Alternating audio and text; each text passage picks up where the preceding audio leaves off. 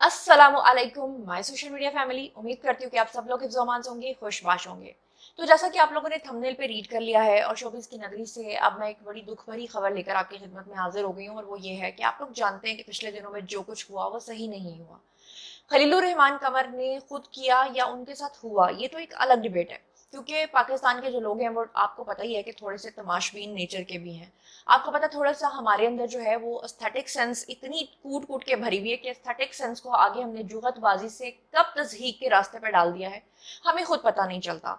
और जब हम किसी की तजहीक करते हैं तो शायद वो अपनी जान भी लेने पर तुल जाता है तो फिर हम बाद में ये कहकर टाल देते हैं बात को कि हम तो सिर्फ़ मज़ाक कर रहे थे और उस मज़ाक मज़ाक में किसी की ज़िंदगी चली जाए, किसी का करियर तबाह हो जाए, इससे हमें कोई फ़र्क नहीं पड़ता। इसकी सबसे बड़ी मिसाल मैं आपको दूँगी डॉक्टर आमिर लियाकत की। आपको याद होगा कि डॉक्टर आमिर लियाकत के भी मुबैना नाजेबा वीडियोस लीक हुए थे। इसमें कोई शक नहीं है कि लोगों ने उनका इतना मज़ाक बनाया था कि उन्होंने एक दिन अपना वीडियो बयान जारी करते हुए कहा था कि वो शायद अब इस दुनिया में ज़िंदा भी ना रहे या नहीं रहना चाहते। और फिर उसके बाद आपने देखा कि किस तरह से वो अपने घर में मुर्दा पाए गए। फिर लोगों ने कहा कि हमने तो कभी सोचा भी नहीं था कि आमिर लियाकत के साथ ये सब कुछ हो जाएगा। फिर लोगों ने सारा मलबा उठा के उनकी वाइफ के ऊपर डाल दिया, जो उनकी थर्ड वाइफ या फोर्थ वाइफ थी, यानी कि दानिया शाह। मैं मानती हूँ कि दानिया शाह उसमें काफ़ी जिम्मेदार थी, लेकिन उसमें क्या सोसाइटी का कोई रोल नहीं था? क्या सोसाइटी ने वो गंदा कंटेंट देखने के बाद उसको वायरल नहीं किया था? क्या व्हाट्सएप ग्रुप्स में उसको नहीं फैलाया था? बिल्कुल ऐसा ही एक वाक्य पेश आया है खलीलुर रहमान कमर के साथ।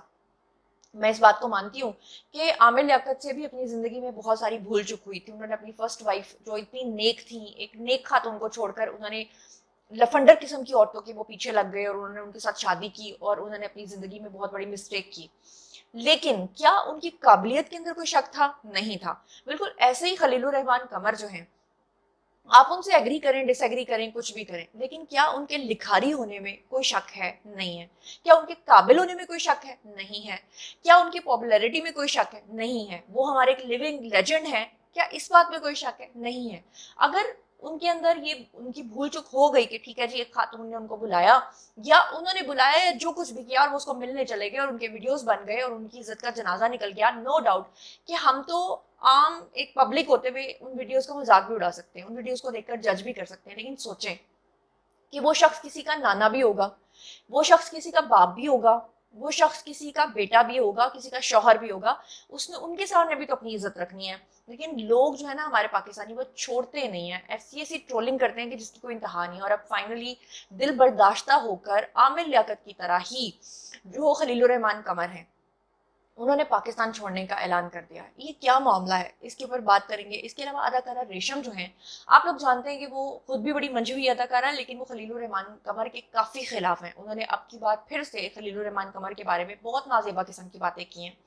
शायद समझ लीजिए कि उन्होंने अपने दिल की एक भड़ास निकाली है, लेकिन मैं आपके सामने पहले खलील रहमान कमर का जो मामला है, उसके बारे में रख देती हूँ। आप लोग जानते हैं वो एक्टर भी हैं, प्रोड्यूसर भी हैं, मारूफ जो है, वो नामा निगार भी हैं ड्रामा निगार भी हैं। उन्होंने, आपको पता है कि जो हनी ट्रैप वाला उनके साथ मामला हुआ, उसमें वो जो गैंग था, उसमें वो जो खातून थी, वो बाद में तो बड़ी मजलूम बन गई, लेकिन हकीकत यह है कि वो बराबर की शरीक थी। हकीकत यह है कि वो लोगों को इसी तरह ट्रैप करते हैं और खलील कंवर भी उस ट्रैप का एक हिस्सा बने। अब निजी टेलीविज़न को इंटरव्यू दिया है खलील रहमान कमान ने, जिसमें उन्होंने कहा है कि मैं केस का फैसला आने तक इंतज़ार कर रहा हूँ।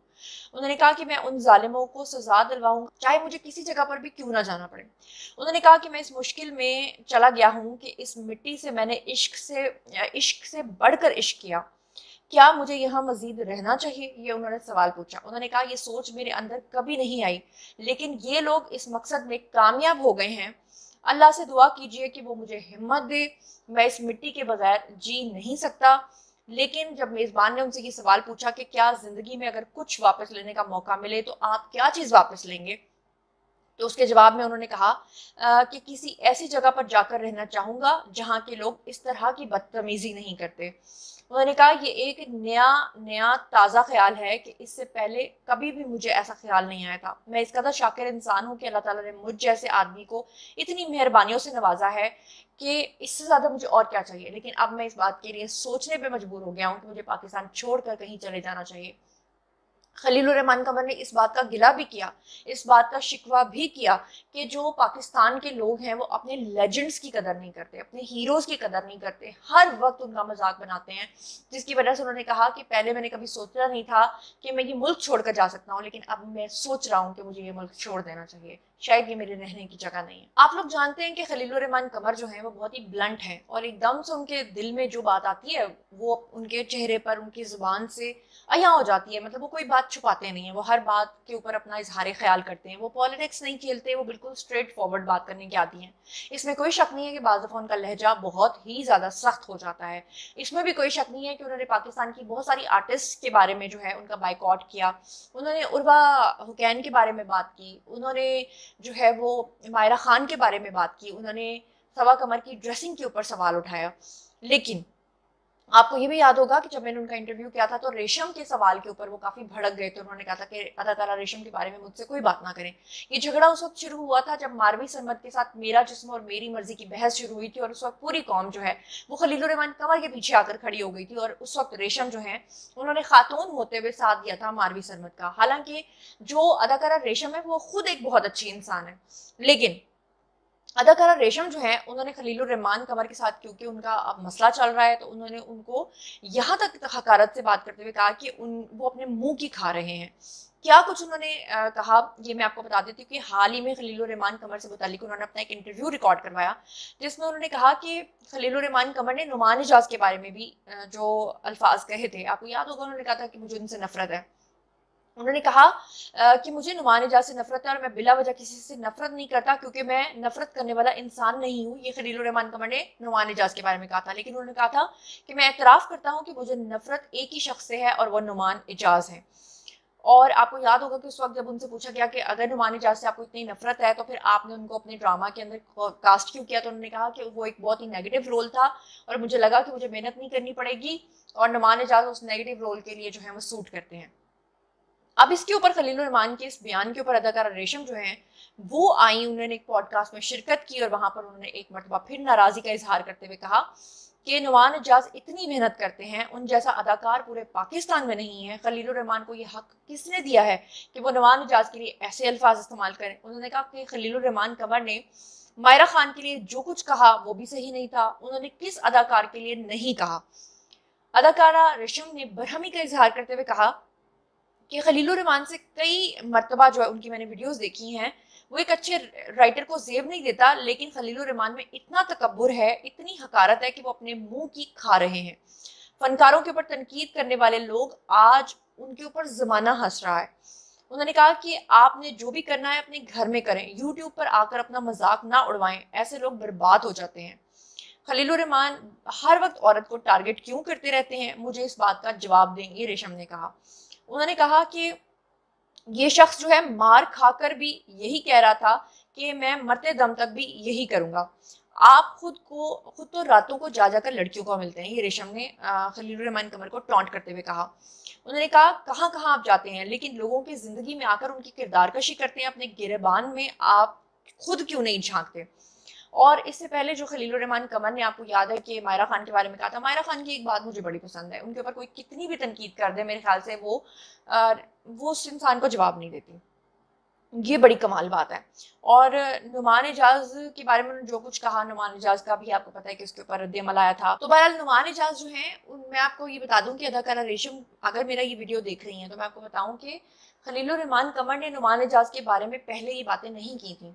बल्कि मुबशर लुकमान के एक प्रोग्राम के अंदर नुमान एजाज से जब पूछा गया था तो सबसे पहले उन्होंने बहुत ही हर्जा सराई की थी और उन्होंने जो है वो बैड वर्डिंग का इस्तेमाल किया था किसके लिए? खलील रहमान कमर के लिए। और जब खलील रहमान कमर से पूछा गया था नुमान एजाज के बारे में तो फिर उन्होंने नुमान एजाज के बारे में ये बात की थी। अदरवाइज़ नुमान एजाज जो है वो पहले खलील रहमान कमर के बारे में इस तरह की बातें जो है वो कर चुके हुए थे। लेकिन अदाकारा रेशम को शायद ये बात पता नहीं थी। उन्हें लगा कि शायद जो खलील रहमान कमर है उनको उन, उन्होंने उनके बारे में जो है वो पहले ये बात की है। बहरहाल दुख की बात है अफसोस की बात है कि हमारा एक लेजेंड जो है वो मुल्क छोड़कर चला जाए।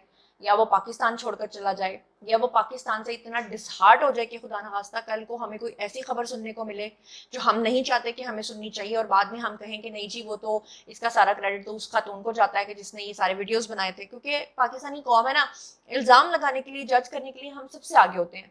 लेकिन जब उसकी ज़िम्मेदारी कबूल करनी होती है तो वो सबसे पहले हम किसी और पर डालते हैं, वो अपनी, हम खुद ज़िम्मेदारी कबूल नहीं करते।